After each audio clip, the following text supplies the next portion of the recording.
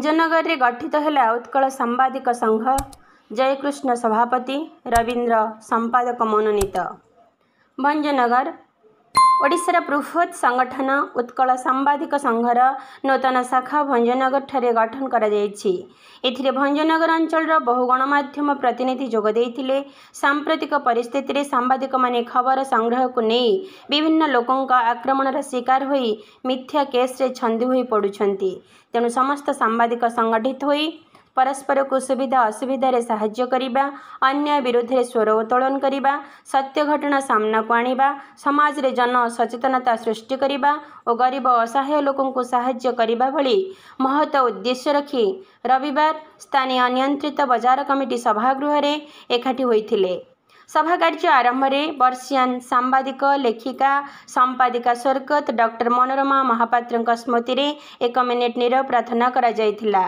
ଏଥିରେ ବରିଷ୍ଠ ସାମ୍ବାଦିକ ରବୀନ୍ଦ୍ର କୁମାର ପାତ୍ର ସଭାପତିତ୍ୱ କରିଥିଲେ। ମୁଖ୍ୟ ଅତିଥି ଭାବେ ଉତ୍କଳ ସାମ୍ବାଦିକ ସଂଘର ଜିଲ୍ଲା ସଭାପତି ଅନିଲ କୁମାର ପଟ୍ଟନାୟକ ମୁଖ୍ୟ ବକ୍ତା ଭାବେ ଜିଲ୍ଲା ସଂଗଠନର ସାଧାରଣ ସମ୍ପାଦକ ପ୍ରଦ୍ୟୁମ୍ନ କୁମାର ପାତ୍ର ସମ୍ମାନିତ ଅତିଥି ରୂପେ ସୋରଡ଼ା ବ୍ଲକ ସଭାପତି ରାଜେଶ କୁମାର ସାହୁ ଜଗନ୍ନାଥ ପ୍ରସାଦ ବ୍ଲକ ସଭାପତି ଚନ୍ଦ୍ରକେତୁ ରାଉତ ଭଞ୍ଜନଗର ବରିଷ୍ଠ ସାମ୍ବାଦିକ ଜୟକୃଷ୍ଣ ପଟ୍ଟନାୟକ ଓ ଆସ୍କାର ବରିଷ୍ଠ ସାମ୍ବାଦିକ ଅନିଲ ପାଣିଗ୍ରାହୀ ମଞ୍ଚରେ ଉପସ୍ଥିତ ରହି ସଂଘର କାର୍ଯ୍ୟ ଓ ଉଦ୍ଦେଶ୍ୟ ଏବଂ ସମସ୍ତେ ନିଜ ନିଜ ଭିତରେ ଅନ୍ତର୍ଦ୍ୱନ୍ଦ୍ୱ ଭୁଲି ଏକାଠି ମିଳିମିଶି କାର୍ଯ୍ୟ କରିବାକୁ ପରାମର୍ଶ ଦେବା ସହ ନିଜ ନିଜର ଅନୁଭୂତି ପ୍ରକାଶ କରିଥିଲେ। ଏହାପରେ ସଂଘର ନୂତନ କର୍ମକର୍ତ୍ତା ଚୟନ କରାଯାଇଥିଲା।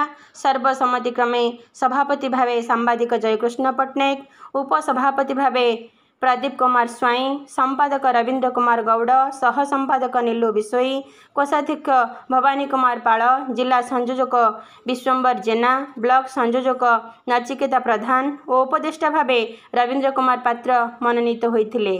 ଆଗାମୀ ଦିନରେ ସଂଘ ସଠିକ୍ ଖବର ପ୍ରକାଶକୁ ଗୁରୁତ୍ୱ ଦେବା ସହ ଲୋକମାନଙ୍କ ସମସ୍ୟା ଦୂର ପାଇଁ ବିଭିନ୍ନ କାର୍ଯ୍ୟକ୍ରମ ହାତକୁ ନେବ ବୋଲି ଜଣାପଡ଼ିଛି। ଏହି କାର୍ଯ୍ୟକ୍ରମରେ ମନୋଜ ଗୌଡ଼ ସନ୍ତୋଷ ଜେନା ଅରୁଣ ସ୍ୱାଇଁ ଚିନ୍ମୟ କୁମାର ବେବର୍ତ୍ତା ଶିବ ପ୍ରଧାନଙ୍କ ସମେତ ପ୍ରିଣ୍ଟ ମିଡ଼ିଆ ଇଲେକ୍ଟ୍ରୋନିକ୍ସ ମିଡ଼ିଆ ଓ ୱେବ୍ ମିଡ଼ିଆର ବହୁ ପ୍ରତିନିଧି ଉପସ୍ଥିତ ରହି ସହଯୋଗ କରିଥିଲେ।